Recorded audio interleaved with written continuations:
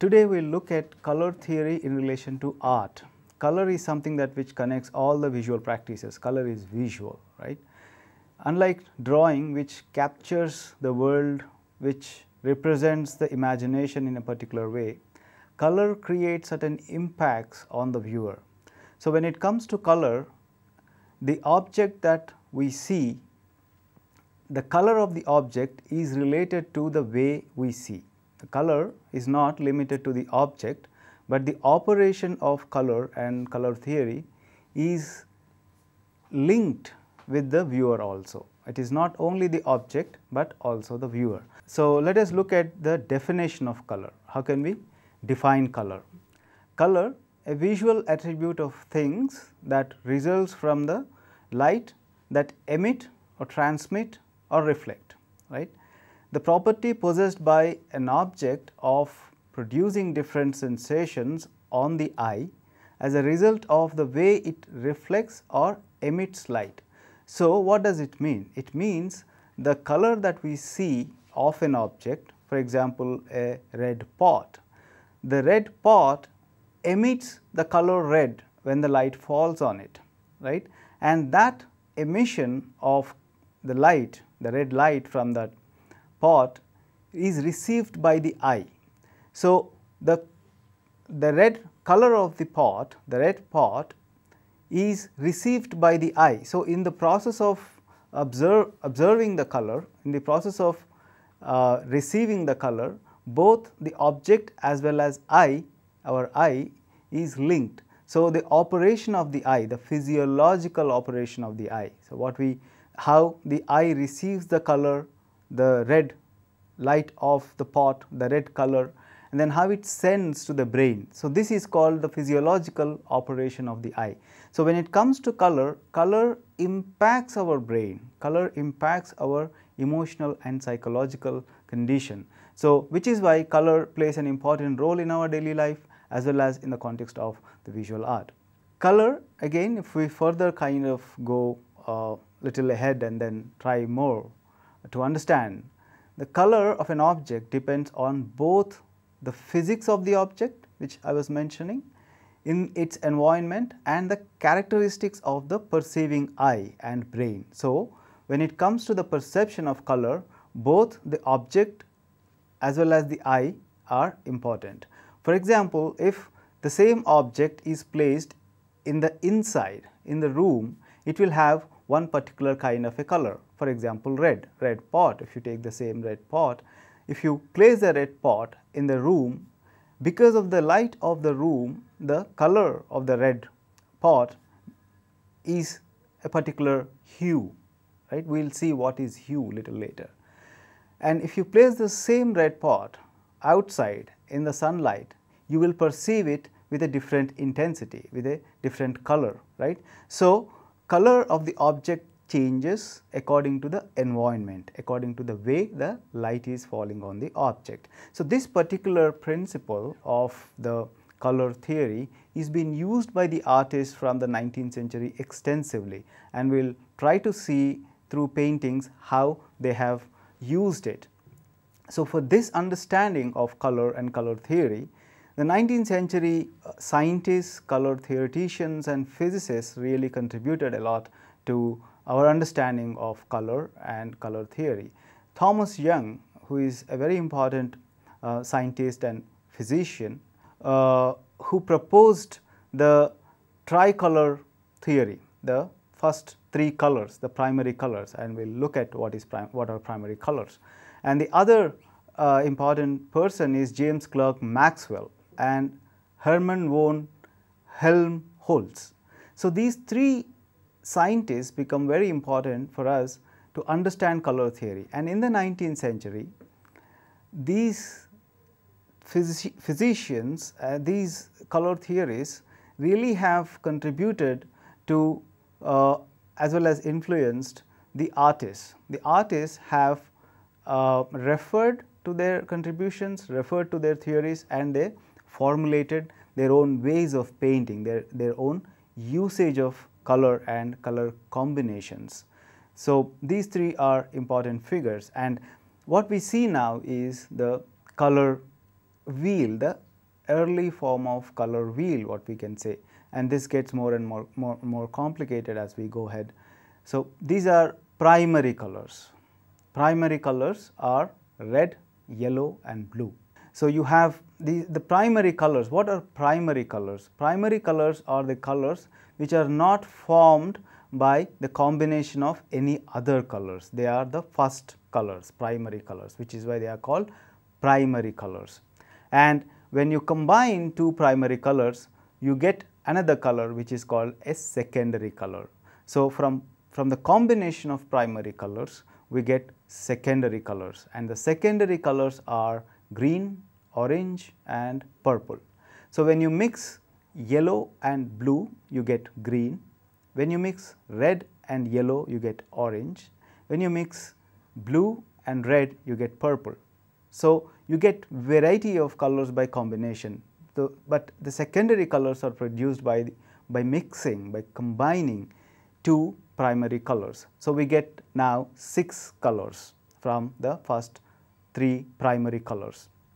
So, uh, after the secondary colors, what you have is tertiary colors. So, tertiary colors are formed by mixing 3 primary colors or 3 secondary colors. So, what you have on the screen is a very complicated uh, color wheel with primary colors and secondary colors and tertiary colors. And when you form, when, when you have a color wheel formed with all these colors, what you have in the color wheel is two types of colors, two types of colors that impact our mood. One is the warm color category, another is the cold color category and these two categories are very important when we try to understand the psychological emotional impact that the colors would produce. As we know warm colors would produce a sort of an agitated uh, you know mood or excited mood or it suggests anger and on the other hand cool colors are more calmer you it calms down your emotional psychological sensations. So, we will look at how these colors are used little later by the artist. So, yeah tertiary colors is a combination of three colors that may be three primary colors or three secondary colors. And yes, so when we look at color and uh, you have different types of color like in the color itself for example, if you take one color you have different varieties, different variations and gradations in color right. So, you have some definitions here something like hue. What is hue? For example, if you take the same color red, red we have different variations right. You have deep red, you have lighter red, you have something like blood red right. So, hue is the particular variation that emits a particular wavelength of that pigment right. For example, if you have a darker red that emits a particular wavelength which is different from a lighter red. Okay. So, color may be same it may be red, but within red you have different hues it goes with any color that may be green, that may be blue like for example, if you take sky blue, the sky blue changes from morning to evening, the color of the sky changes from morning to evening. It is the same, same sky, but the color of the sky changes and the color does not change, the blue does not change, but what changes he is the hue, hue of the sky. So, why does it change? It is a very good example actually. Why does it change? It changes because of the change of the light, the intensity of light. So, another subcategory within the context of color is lightness, right. So, the lightness and the darkness of color. So, the example that we took initially about the pot, the red pot, uh, if you put it in the interior in inside a room, you have a particular kind of uh, intensity of color right which is slightly darker than if you put it outside in the open light, it becomes lighter, right. So, you have two variations according to the light that is falling on it as well as that is reflected by the red pot by the object, right. So, another important uh, uh, category is saturation. Saturation is the kind of level that that moves from the neutral to the brilliance of the color, right. So, uh, we know that uh, if people who use computers, people who work on digital uh, softwares would know it very well like how to attain the saturation, how the color attains its intensity. For example, the dull color, the same color, the red, blue or green or any other color you take, a color is dull, it is unsaturated, right. If it is bright and it is, if it is brilliant and bright that is saturated. So, saturation is that level of the color where the gray is removed, where the dullness is removed that is saturation. And you have other variations that you get within the color called something like tint. How do you get tint? Tint is one of the variations of the hue, one of the variations of the color. You, you get tint when you mix white to a color. For example, if you get if you if you mix white to red, you get pink. Pink is nothing but a tint of red, right. If you mix white to the darker blue, you get a lighter blue, right. So, a lighter blue is the tint of uh, we call it as tint of the blue and another is tone. How do you get tone? You get tone by mixing gray color. You take any color and you mix gray, you get the tone of the color that may be blue, green, whatever color you take. So, we use this in our uh, everyday usage that you know the tone of a color, the tone, the tonality you know. So, tone is nothing but the mixing of gray right. So, for example, if a pot is placed inside the room, it acquires it is it acquires a different tone because the light is less. So, the grayness of the inside grayness of the room becomes uh, makes the color more darker. So, it is a darker tone that you get when you place the pot inside the room. Another aspect is shade. You get shade when you mix black to any color, right. So, you mix uh, black to red, a little amount of black to red, you get shade, you get maroon, right. You get a shade of red, you get any shade of any color by mixing black, right. Another aspect is value, right. How light or dark color is. The value of color is defined or known by seeing its, its lightness or darkness, what is the value, the higher intensity value or the lower intensity value. It, it is the value that which is linked to again the idea of hue. Now, we have different color schemes. Now, we are coming to visual art. What are the different kinds of color schemes that we have and how artists use them, right? One is achromatic color achromatic color is that where you do not have any color that which is to put it straight it is black and white and grays where you do not have any color, but you have black, gray and white. So, by using black, gray and white you create something, you paint something and that is called achromatic color scheme. Right. Another is monochromatic color monochromatic color is by painting with one color. If you make a painting, if you make an image with one color and as we have just saw that one color, color can have many variations. If you mix white, if you mix gray, if you mix black, you get hues of one color, you get you get tints of one color, shades of one color and tones of one color.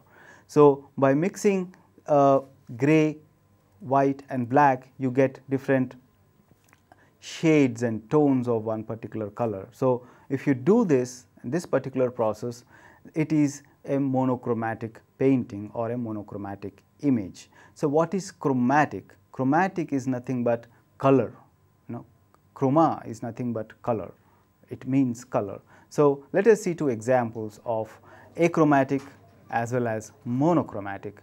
This is achromatic uh, painting, a, a, an example for achromatic painting.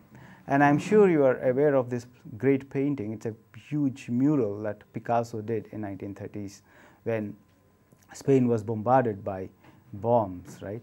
So, this is a painting that he painted as a response to the war, as a response to the war on Spain. So, which is why you can see it is there is a lot of violence, it is very expressive and it is his post cubist life that he is painting in, in the context of his career. He, he completed his cubistic experiments. So, this is a work where we get to see his, uh, his experimentations come together in a large painting. It is a large mural that he painted. Another is as you can see on screen, it is uh, an example for monochromatic color, uh, color scheme. So, this is uh, again Picasso, Pablo Picasso, an old beggar and a boy, right. So, he is uh, using blue here and if you know about Picasso's uh, uh, life, you will know that before uh, getting into a very bright period called pink period, he was painting in blue period. This particular time period was categorized as blue period where he used extensively the blue color and different shades and tints and different hues of blue color. So, this is one example, uh, one of the examples where you have uh, all the blue shades and tints are used and what mood do you have here? The mood is depressing maybe, the mood is sadness, the mood is not exciting, not happier, not bright, right. So, uh, this is a monochromatic, but it also can be used as uh, a cool color schema. We will see some more examples later, but if you can remember this as an example for the cool colors, the scheme of cool colors in the in the uh, uh color wheel. Next is complementary colors. Complementary colors are nothing but contrast colors. Complementary colors can be seen opposite to each other in the color wheel. Any color, any two colors that are opposite to each other in the color wheel can be considered as complementary colors. For example, red and green, right? Red is a complementary color to the green. When you place red and green together, when you juxtapose them, they really react very fast. They really kind of create a contrast effect for our eyes. Similarly, violet and yellow and let us see few examples how the complementary colors are used by the artist and this is a very famous example by uh, Vincent van Gogh. It is a very famous painting and look at the way he is using yellow for the um, canopy of the cafe and the blue sky up there.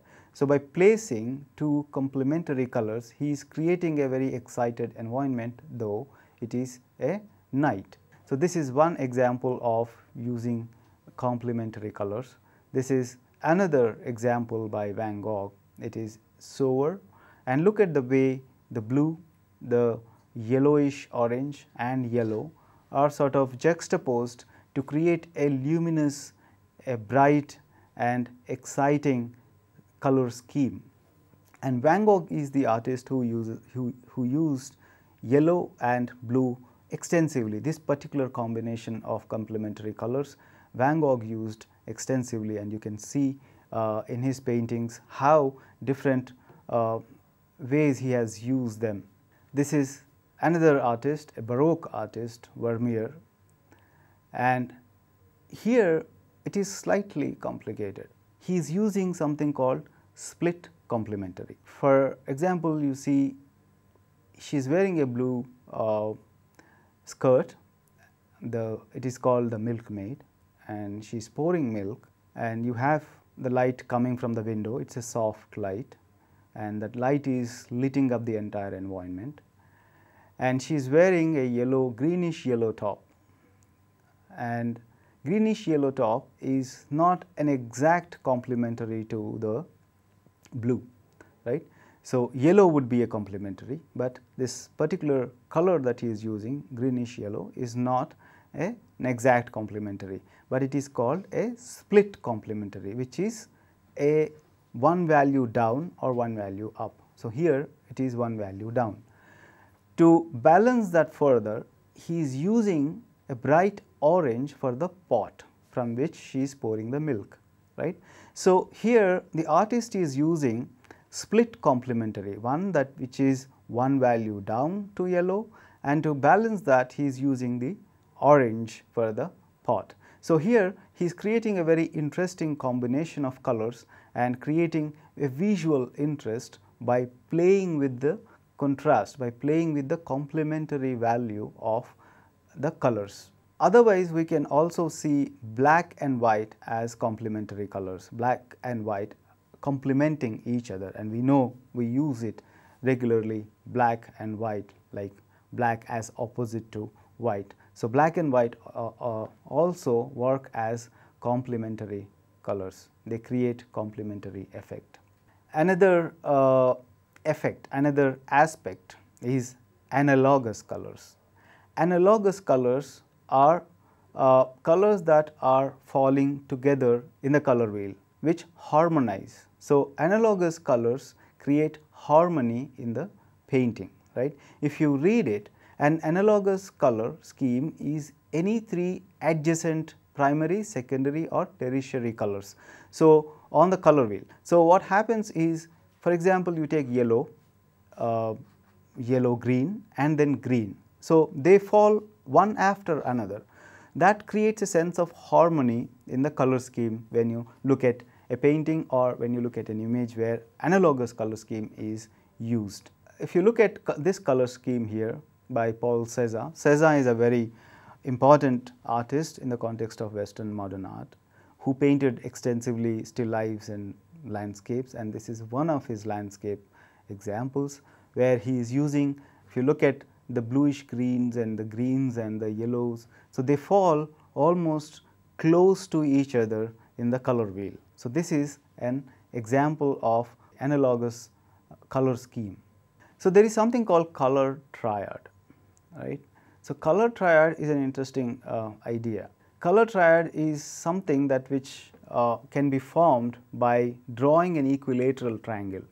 An equilateral triangle on the color wheel, the three color colors on the color wheel divided with the gap of three colors. If you look at this uh, slide where you have uh, greenish yellow, yellow green, you have orange, uh, uh the other tertiary color and you have the purple, the pur bluish purple, right.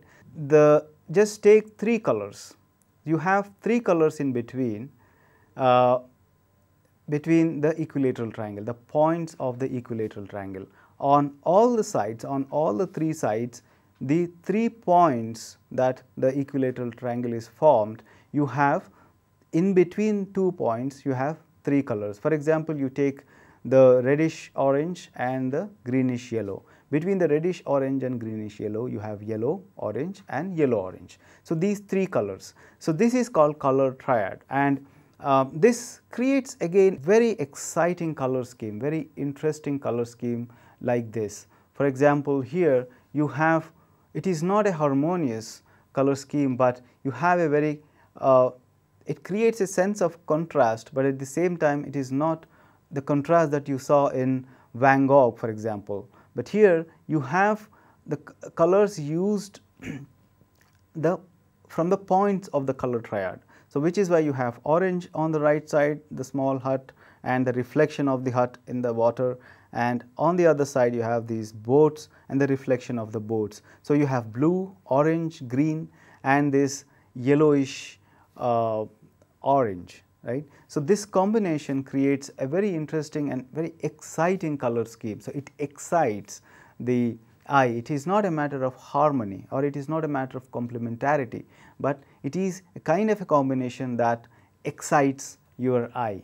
Now, as we have seen in the color color wheel, we have warm colors and we have cool colors. And let us see warm colors first.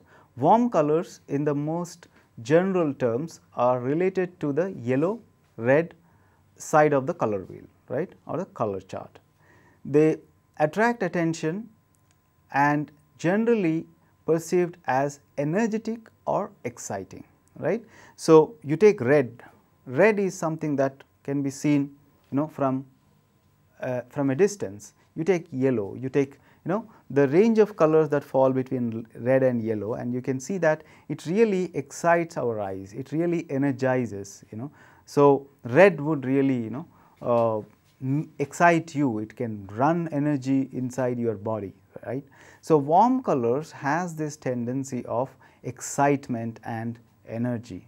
So, which is why we can see uh, uh, revolutionary colors are red. This is an example uh, by Vincent van Gogh and here you can see unlike let us say the earlier example where he was using complementary colors, here he is using only the warm colors where you can see different uh, different kinds of yellows he is using, different hues of yellows and this is a very good example to also understand the definition of hue.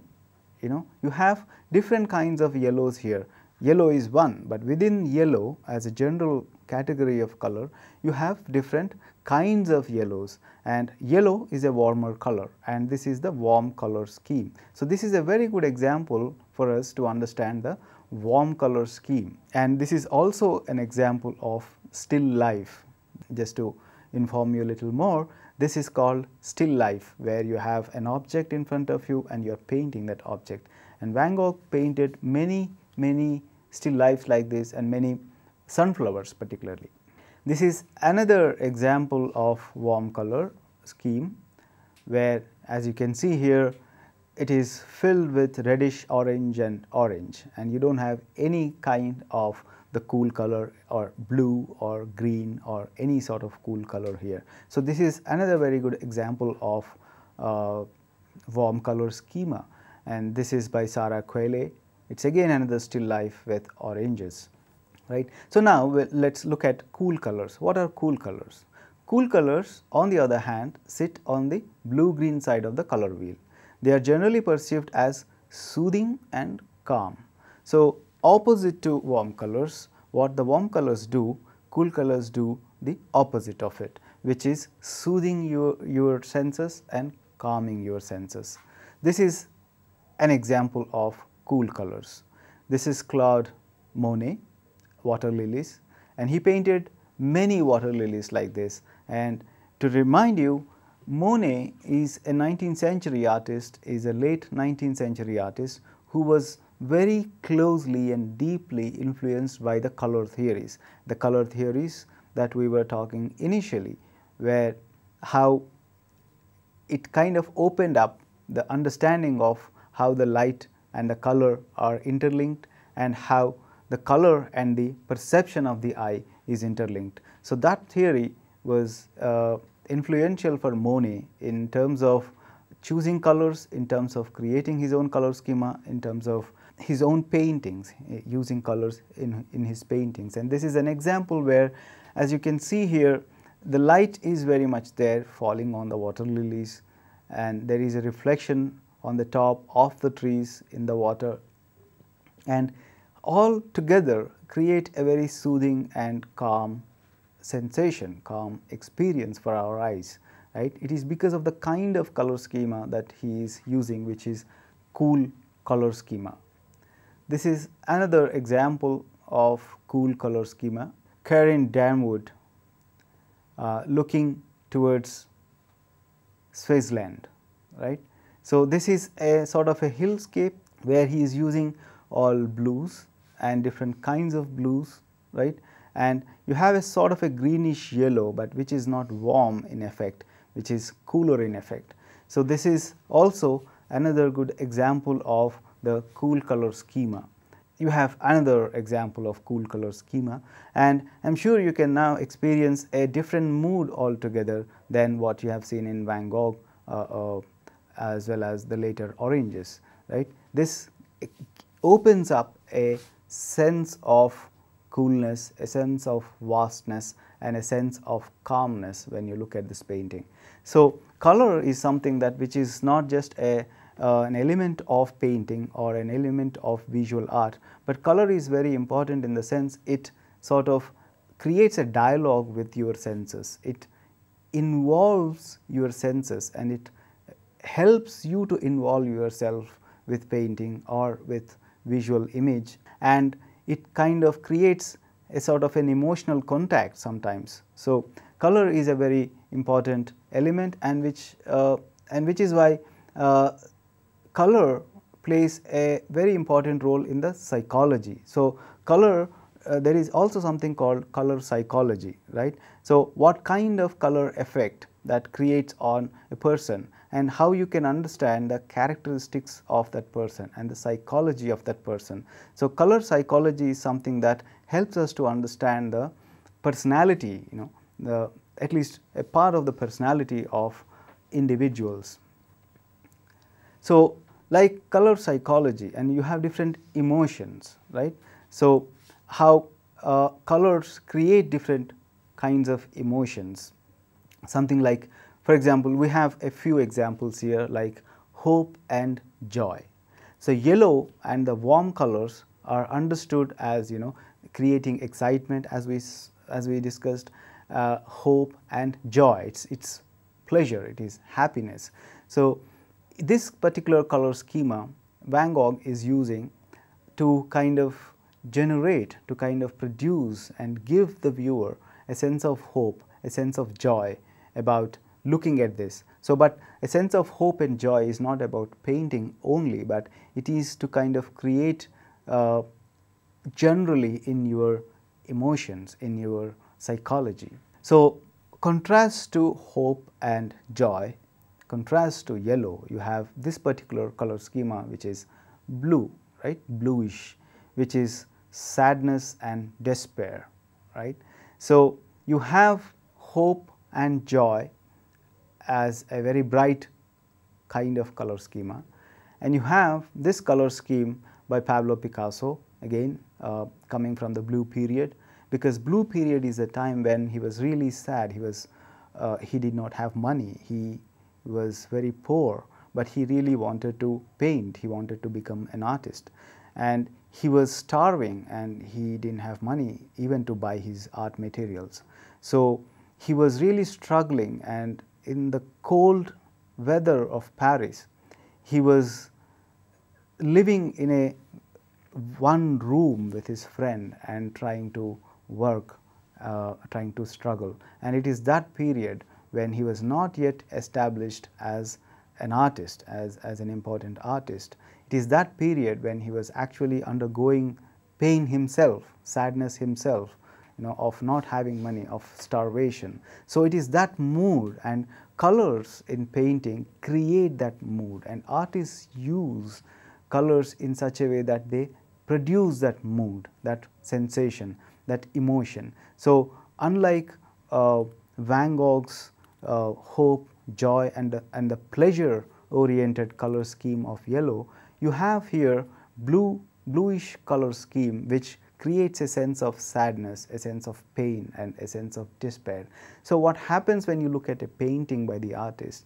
It reflects the emotional and psychological condition of the artist himself or herself, right. So, when you look at the colors, by looking at the colors, you can also understand the mental and the emotional condition of an artist, right. So, paintings are not just what you see, paintings are furthermore, they are lot more than what you see. They can tell you more than what you can visually see if you go on looking at them and if you go on you know digging, if you go on looking more and more and then trying to understand how things have been arranged and how mood has been created.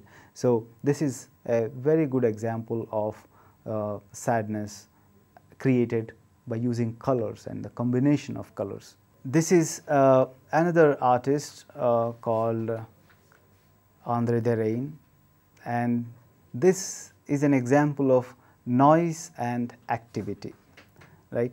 So, if you look at this, it is a very interesting composition and we can spend a little time on it, where he is using uh, not one color scheme, but he he's using a sort of a complementary as well as a sort of a uh, as we can we have seen the triad, the color triad. So, these two things he seems to be using here, right.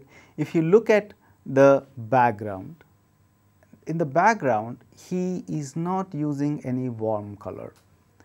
You look at the background, he is using yellowish green and he is using blue, the bright blue and in the back it looks more bluish because uh, the bridge as well as the sky it kind of becomes bluish because of the atmospheric perspective right? Because of the as we can see when you look at things at a distance they are sort of they look hazy and they become slightly bluish. That is because of the atmospheric effect atmospheric perspective.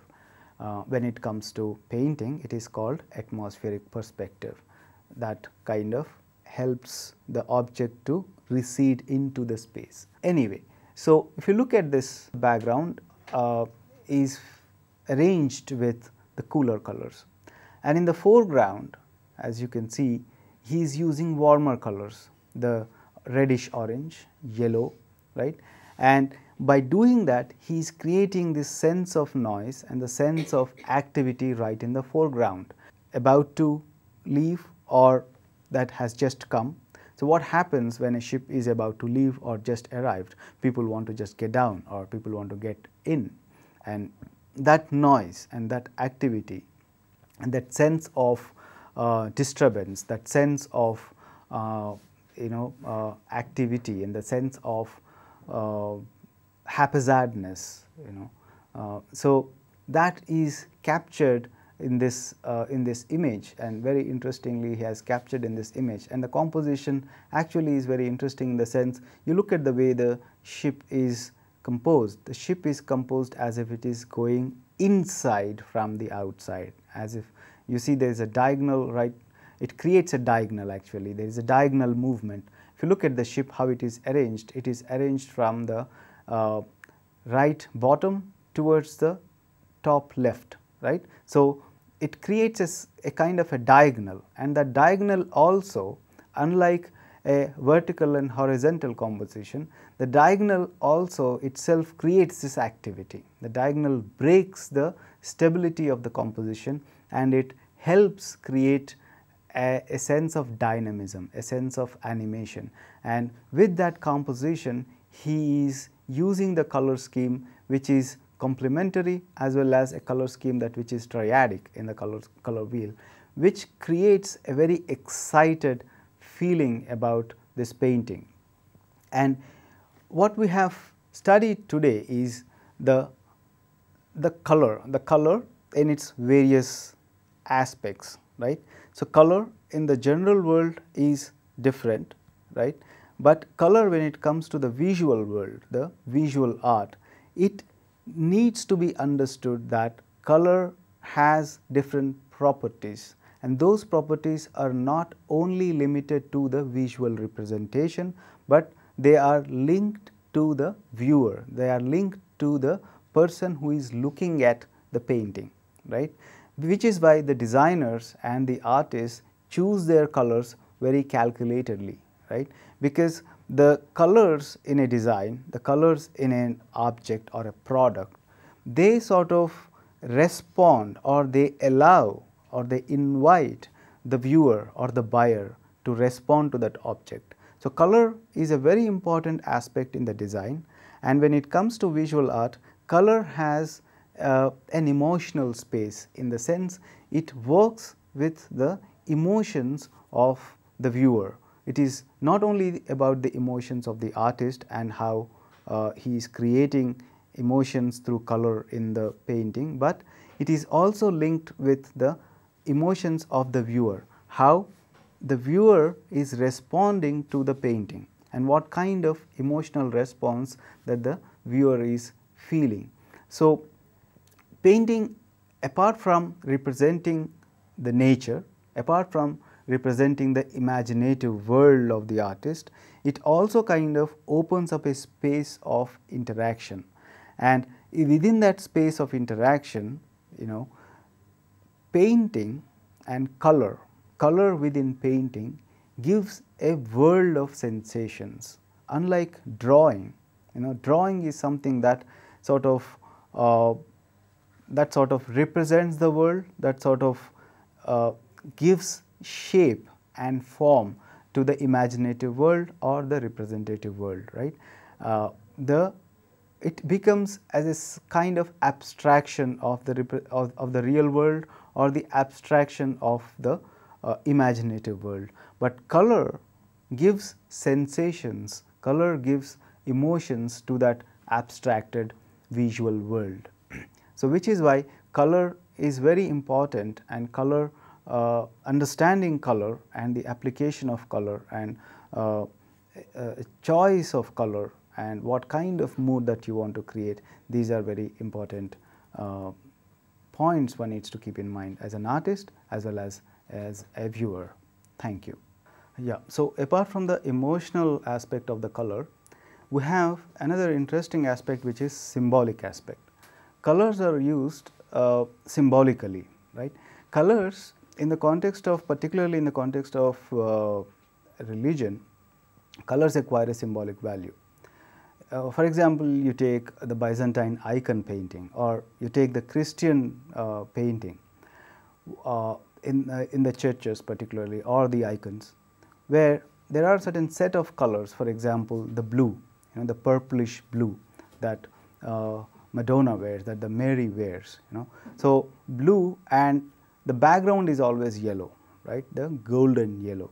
So, this particular combination of golden yellow and uh, the blue the purplish blue this combination that uh, like goes on for over centuries and unchanged and because it is embedded with certain symbolic value. So, symbolically they were understood as divine colors, they were understood as heavenly colors and interestingly you see the blue and yellow are complementary colors and when you look at uh, when you look at the Mary sitting on the throne holding Christ and her halo at the back and if you look at the background, the background is this golden yellow and you know this which actually sort of pronounces the figure of the Mary very uh, prominently, right. So, the yellow is something that which is not heavy in terms of the gravity of the color,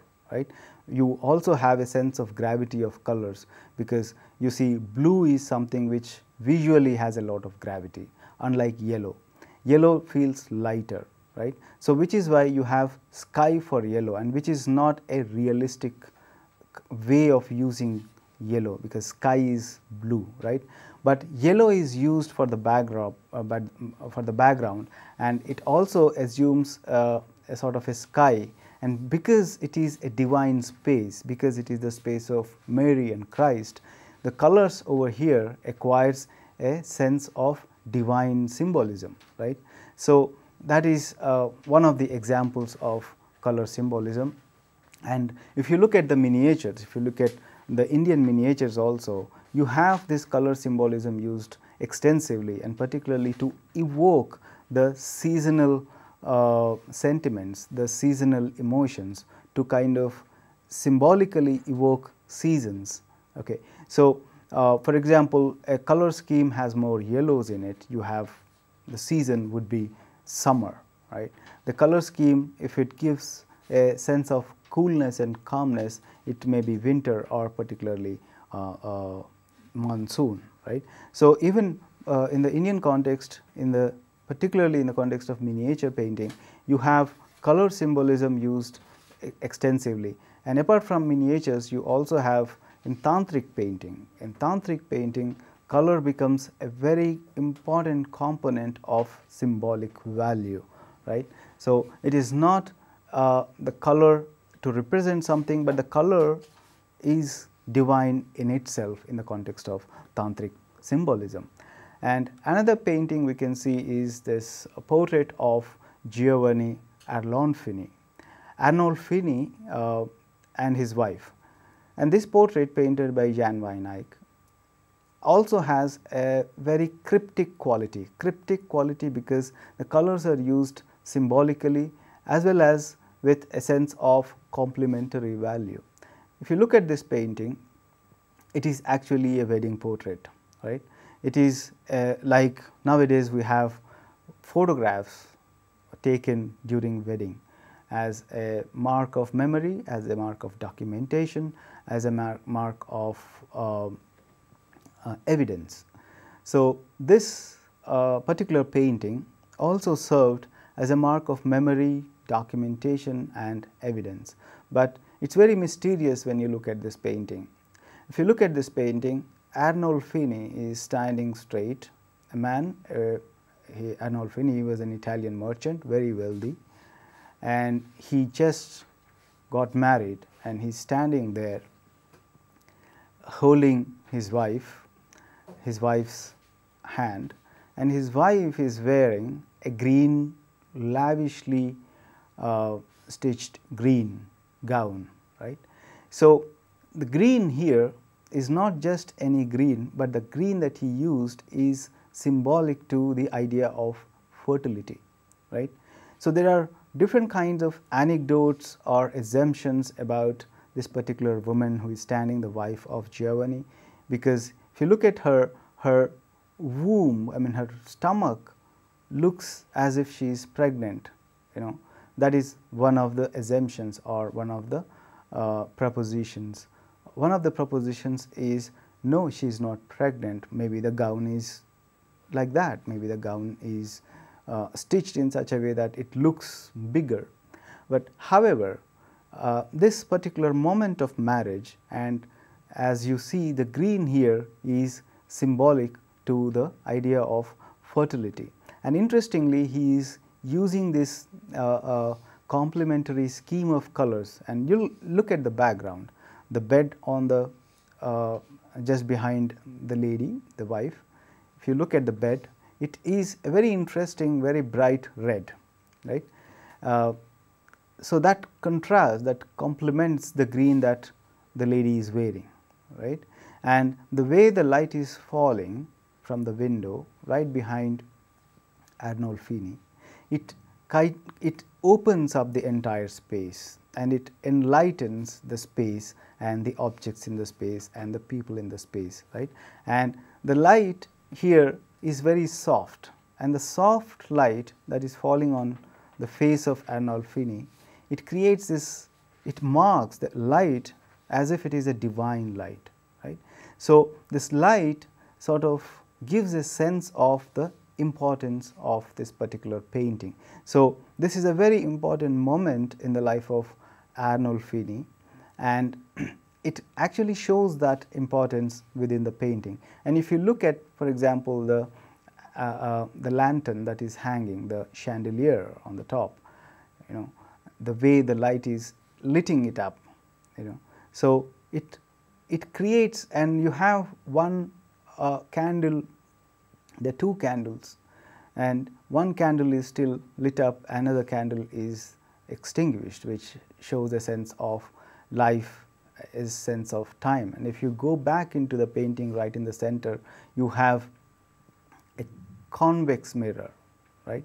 A convex mirror which shows the painter painting this particular two figures.